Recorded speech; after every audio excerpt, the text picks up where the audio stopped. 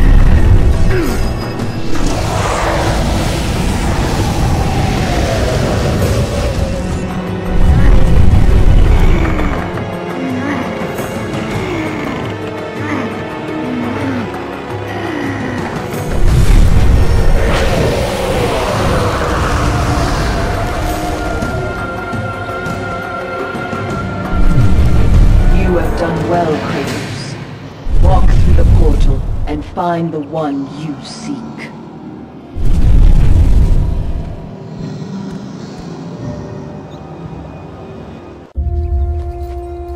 Calliope!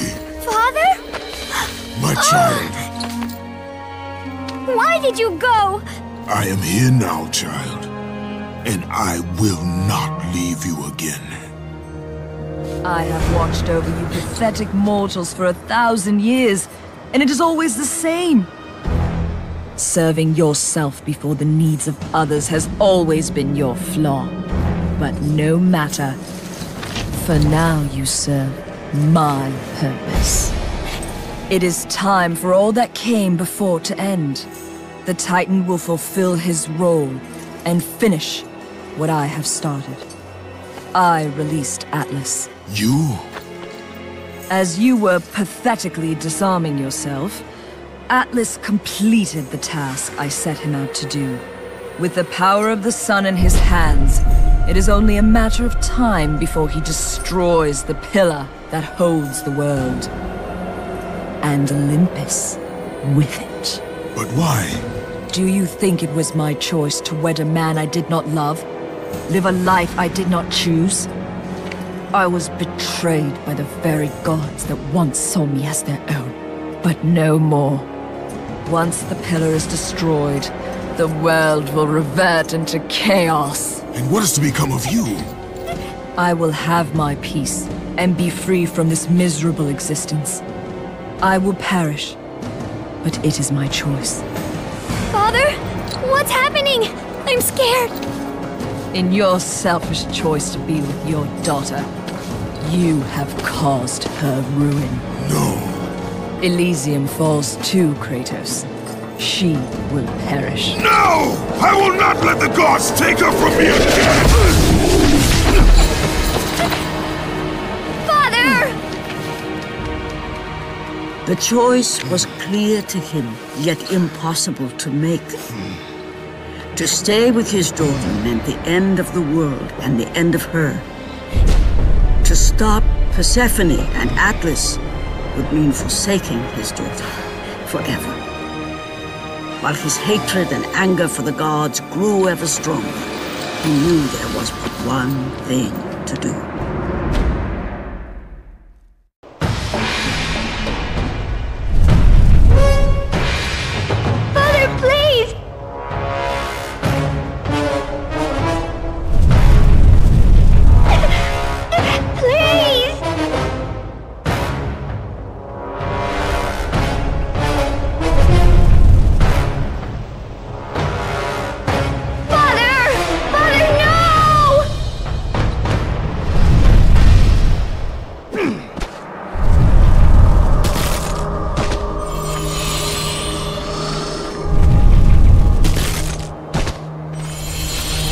Kratos soon realized that what he gained in humanity, he lost in power.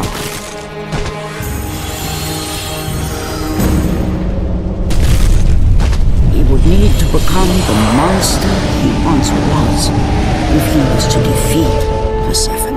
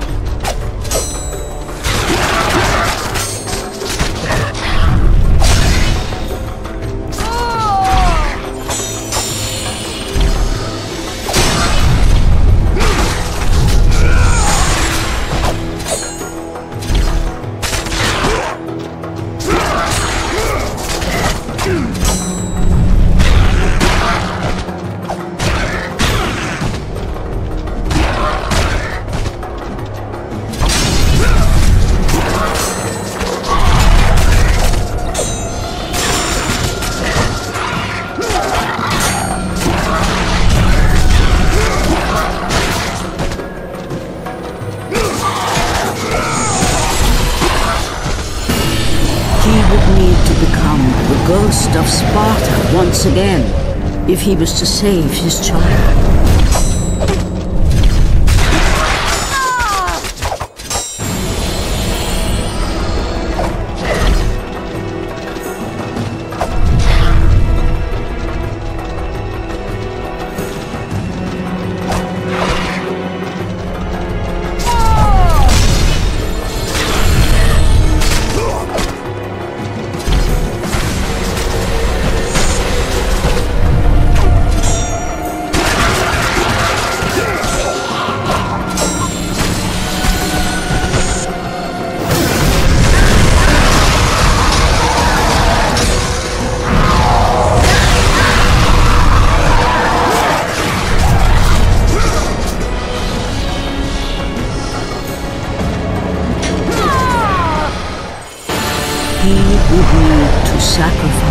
His life with her so that she may live. No! Father, no!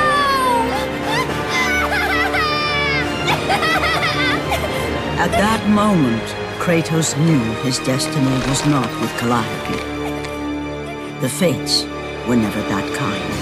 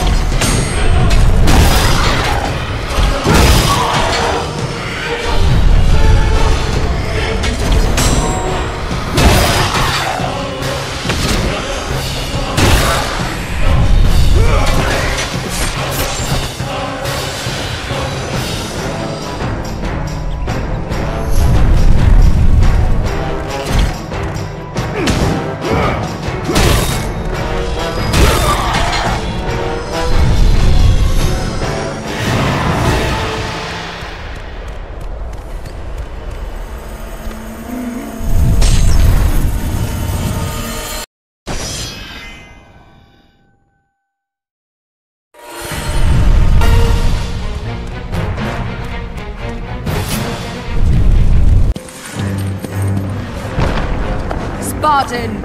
Witness the end!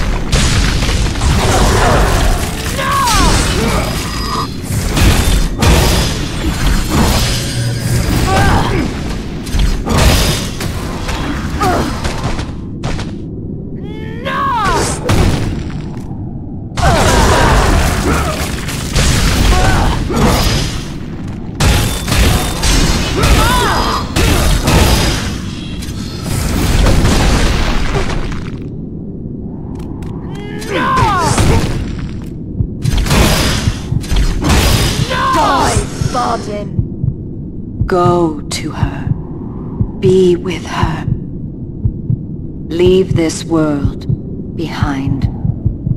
Atlas!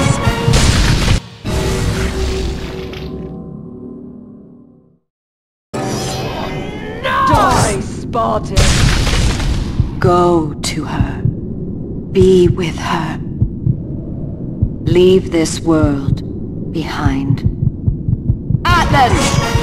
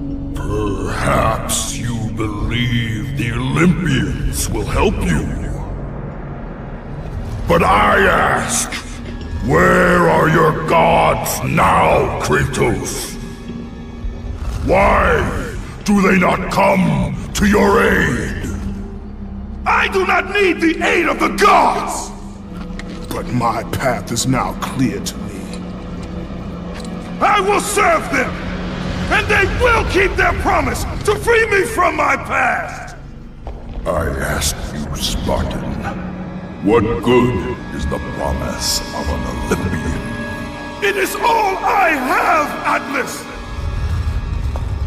We will meet again, Spartan. The fates have deemed it. One day, you will regret what you have done here.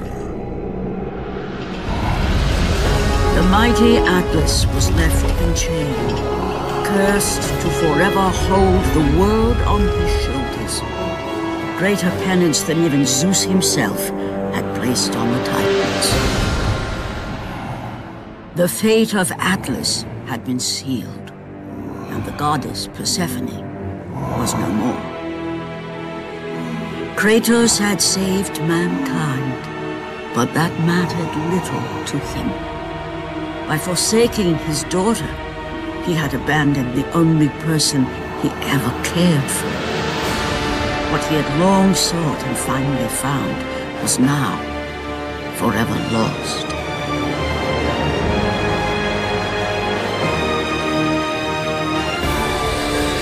As the sun chariot rose higher in the sky, and the might of Helios shone once again on the world, Morpheus retreated to the shadows. Kratos gained little satisfaction from his victory. With years of servitude in front of him, he would need to confront his past and fight to reclaim the humanity he lost on the day his dark legend was born.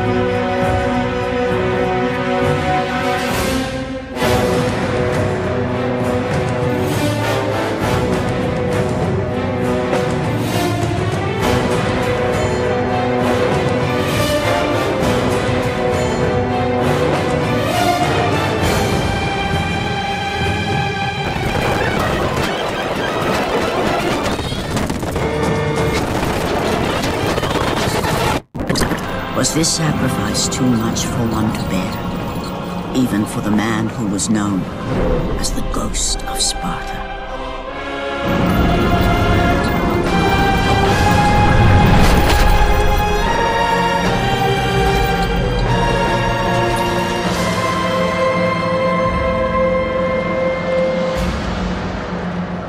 He has again served us well, Athena. He is a remarkable mortal. He is weak. Shall we help him? He'll live.